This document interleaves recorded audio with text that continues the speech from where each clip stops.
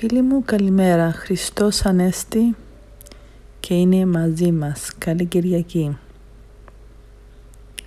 Χθες ανακάλυψα τρία κίτρινα τριαντάφυλλα τα οποία χωρίς να το αντιληφθώ βγήκαν ψηλά, κόλλησαν με την κλιματαριά μου και βρέθησαν κάτω από την σημαία την ελληνική που τις έχω και σταυρό επάνω στην είσοδο του σπιτιού μου.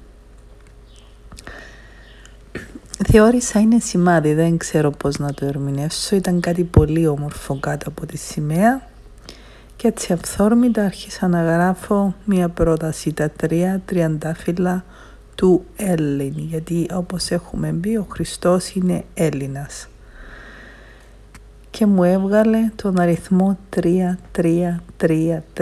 Αγία Τριάδα. Όπως έχουμε πει, ο Θεός είναι παντού. Μας δίνει διάφορα σημάδια, όπως αυτό εδώ της παρουσίας Του. Σήμερα γιορτάζουμε την Πεντηκοστή. Είναι η μέρα κατά την οποία οι μαθητές μαζί με άλλα 120 άτομα προσευχόμενοι ανάμεναν το φως του Κυρίου και έγινε το θαύμα. Ως πύρινες φλόγες ο Κύριος εμφανίστηκε πάνω από τα κεφάλια των μαθητών του και επέστρεψε ο ίδιος ως ο άλλος παράκλητος. Υπάρχει εδάφιο που το λέει ο Ιωάννης ότι έχουμε μαζί μας τον παράκλητο Ιησού Χριστού. Δηλαδή δεν ήταν οι φωτικές που ανάβουμε και μαγειρεύουμε. Οι στα κεριά, οι φωτικές στα κεριά. Ήταν η λάμψη που δήλωνε την παρουσία του. Ήταν ο ίδιος αυτοπροσώπος εκεί μαζί του. Που μετά το θαύμα αυτό οι μαθητές άρχισαν να μιλάνε διάφορες γλώσσες. Να λένε για τον Χριστό. Εκείνη τη μέρα είχαν βαφτιστεί χιλιάδες ανθρώποι είχαν έρθει εκεί από διάφορα έθνη. Και έγινε το θαύμα αυτό του Αγίου Πνεύματος όπως λέμε και γιορτάζουμε την επομένη. Έτσι για να μας δηλώσει ο Κύριος ότι δεν φεύγει από κοντά μας είναι πάντα μαζί μας γιατί αυτός είναι το πνεύμα, αυτός είναι ο παράκλητος, αυτός είναι ο Θεός, αυτός ήταν ο άλλος, όχι το άλλο πνεύμα που επέστρεψε σαν άλλο για να είναι μαζί τους και πάλι καθοδηγητής, δάσκαλος τους μέχρι φυγής τους προς τον ουρανό, κάτι που γίνεται και σήμερα με τον δικό του τρόπο. Την Δευτέρα γιορτάζουμε την ημέρα του κατακλυσμού. Ο κατακλυσμός ήταν από των χρόνων ελληνικών έθιμων όπου οι αρχαίοι Έλληνες γιορτάζαν την Ανάσταση, την Άνοιξη όπως γιορτάζουμε την Ανάσταση του Κυρίου μας, τίποτα τυχαίο. Την βλάστηση, την ανθοφορία, την Ανάσταση του Θεού Διόνυσου, η οποία μετατράπηκε σε Ανάσταση του Ιου του Χριστού και το καλοκαίρι 21 Ιουνίου ήταν η μέρα του ηλιοστασίου που μεγαλώνει, αρχίζει να μεγαλώνει μέρα. Γιόρταζαν, άρχιζε το θέρος. Είχαμε την Ανάσταση των ψυχών και με το θέρος οι ψυχές επιστρέφουν. Και έτσι γιόρταζαν την ημέρα αυτή ως ημέρα επίσης του κατακλυσμού. Όπως βλέπετε, η μυθολογία των Εβραίων είναι κοινή με την μυθολογία των Ελλήνων, γιατί είναι γεγονότα που έχουν συμβεί και οι άνθρωποι τα έγραφαν αναλόγως του έθνους τους με τον δικό τους τρόπο. Οι δε Εβραίοι έγραψαν ότι ήταν ο Νόη με την οικογένειά του που σώθηκε μέσα σε ένα πλοίο.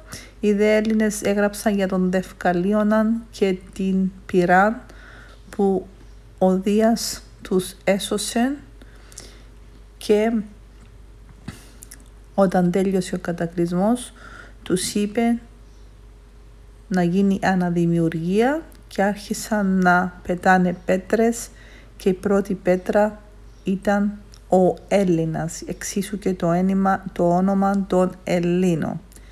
Τυχαία λοιπόν δεν λέμε ότι ο πρώτος άνθρωπος, εν λόγος, είναι Έλληνας. Τυχαία δεν λέμε ότι το κακό θα συντριφθεί από μία πέτρα, καθότι στο όνειρο του Δανιήλ που είδεν ο Ναβουγοδοξόρσονος ο βασιλιάς τότε και έπρεπε να το εξηγήσει ο Δανιήλ του είπε ότι μία πέτρα θα συντρίψει το κακό. Και ποια είναι αυτή η πέτρα, είναι ο Έλλην Ιησού Χριστός, είναι η Ελλάδα μας. Το λέει ο ίδιος ο Χριστός σε Ευαγγέλια που έγραψε ο Παύλος ότι εγώ είμαι η πέτρα που θα συντρίψει το κακό. Να περιγράψουμε λίγο το όνειρο του Ναβοοδορσόσουνα που εξήγησε ο Δανίλ. Ο, είδε ένα άγαλμα λέει με χρυσό κεφάλι και το στήθος του ήταν ασημένιο η κοιλιά του ήταν χάλκινη και τα πόδια του ανάμειχτα με σίδηρο και πυλό. Και ο Δανιήλ του είπε το χρυσό συμβολίαζε εσένα βασιλιά, άρα εξοικόνιζε τον, την κυριαρχία των διαβόλων από έκτοτε και το στήθος του που ήταν ασημένιον ήταν οι Πέρσες που ακολούθησαν μια άλλη κυριαρχία. Αργότερα ήταν η Χάλκινη γιατί το εξήγα σε ένα άλλο όνειρό του ότι το χαλκός συμβολίζει τους Έλληνες.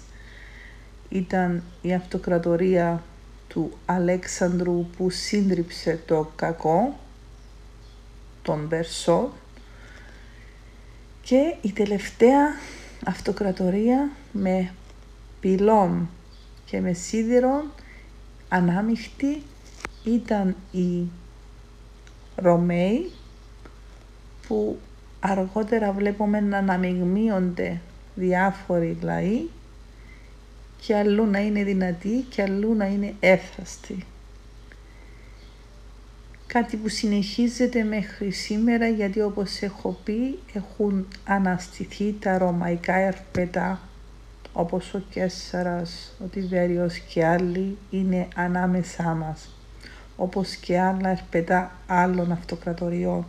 Γιατί το θηρίο αυτό που περιγράφει στον όνειρο του Δανιήλ είναι το ίδιο αν το ψάξετε με το θηρίο που βλέπει ο Ιωάννης η διαφορά είναι ότι μας περιγράφει άλλα τρία ακόμα κεφάλια αντί τέσσερα που περιγράφει στο ίδιο θηρίο σημεία ο Δανιήλ γιατί μετά την, μετά την ε, ε, αυτοκρατορία του Βαδογοσόνα και τους Πέρσες υπήρχαν και άλλες αυτοκρατορίες όπως η Αίγυπτος και αργότερα μετά τους Ρωμαίους έχουμε το 8ο κεφάλι που ζούμε σήμερα που είναι η νέα τάξη πραγμάτων που θα αναδείξει το 8ο κεφάλι που είναι ο ίδιος ο Αντίχριστος. Έχω άλλο βίντεο που τα λέω κατά 40 κεφάλια, είναι διάφορες αυτοκρατορίες οι οποίες βγάζουν και άλλα κεφάλια όπως τη Λερναία Νίδρα που κόβει στο ένα και βλαστούν άλλα δύο. Είναι διάφορες αυτοκρατορίες που περνούμε από έκτοτες των ερπετών που θέλουν να εξουσιάσουν την γη.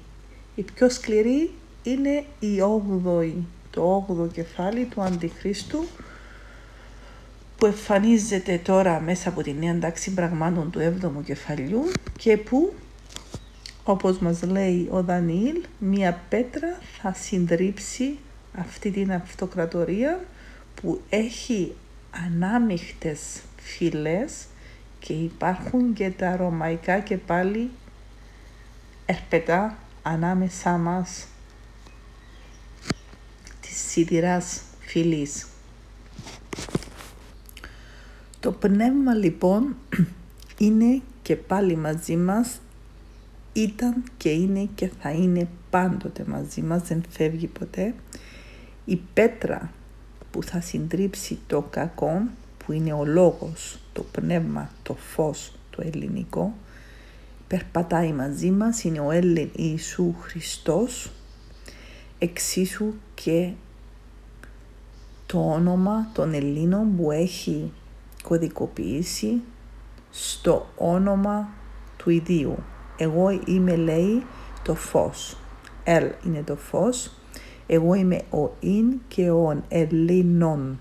Όταν γράψετε το όνομα των Ελλήνων θα βγάλετε το όνομα που όρισε ο Θεός. Εγώ είμαι ο Ιν, σημαίνει αυτός που ήταν και ο αυτός που είμαι, ο Ελ, το φως, Ελλήνων. Άρα μέσα από το φως των Ελλήνων, του Έλλην Χριστού, το κακό θα συντριφτεί. Είναι η πέτρα που είναι ξανά εδώ και περπατά μαζί μας ο Έλλην Ιησού Χριστός. Χρόνια πολλά φίλοι μου, καλή αφύπνιση και φωτισμό να έχουμε από τον Λόγο και την Πέτρα έτσι που να μπορέσουμε να νικήσουμε το κακό που υπάρχει τώρα στην γη. Με αγάπη Κυρίου, Πνεύμα Θεού, φως. Θα συντριφτεί να είστε σίγουροι. Το πνεύμα λοιπόν αγαπητοί μου φίλοι είναι πανταχού παρόν. Τα πάντα έχουν γίνει από τον Θεό. Είναι δημιούργηματα δικά του. Ένα αρχήν ο λόγος και ο λόγος είναι ο Θεός. Τα πάντα δημιούργησε ο Θεός.